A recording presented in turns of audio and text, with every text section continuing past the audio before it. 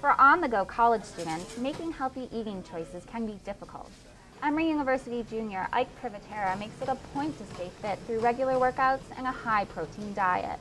I look at nutrition information for my own personal benefit to have a rough idea of what I'm eating and what's going into my body so that I can have a better idea of what my diet is. Thanks to Section 4205 of the Affordable Health Care Act, Privatera and others who are health conscious can find out exactly what they're eating at many restaurants.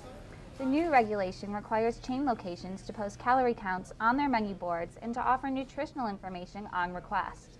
Dietitian Carolyn O'Neill thinks this information will help people make educated eating decisions. If you were at a restaurant and you chose a hamburger or you chose a pizza, it's kind of like you don't know how many calories or how much fat. It's like going to the checkout counter and they go, hey, guess what? You just went over your budget for calories for the day. But will customers make healthier choices? When Panera Bread posted calorie counts on its menu last August, Emory Village manager Frank Judy watched to see how customers responded to the information. I was afraid that our customers would look at those calories and then not order some of our more profitable items. But what we have found, at least at this store, is that it didn't affect too much what people bought. Number two. Emory Jr. Olivia Seeley is against posting calorie information on menu boards. She recalls going to a Yankees game in New York City when the menu labeling requirements were in effect. And it will be like hot dog, $4, 400 calories, like 600 calories and it's just the most ridiculous thing ever. Like part of going to a baseball game is like eating the hot dogs. I don't want to know that, and I want to be able to enjoy my baseball game without that.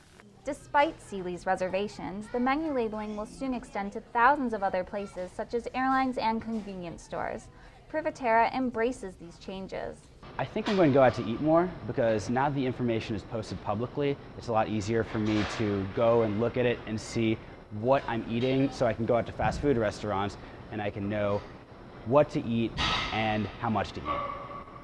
A recent article by the U.S. Department of Agriculture says that it may be too soon to tell what effects these menu labeling requirements will have. It points to conflicting studies conducted in the New York City area where this initiative has already been in effect for three years. It says that while some customers did order fewer calories, others actually ordered more. Jessica Fink, Emory News Now.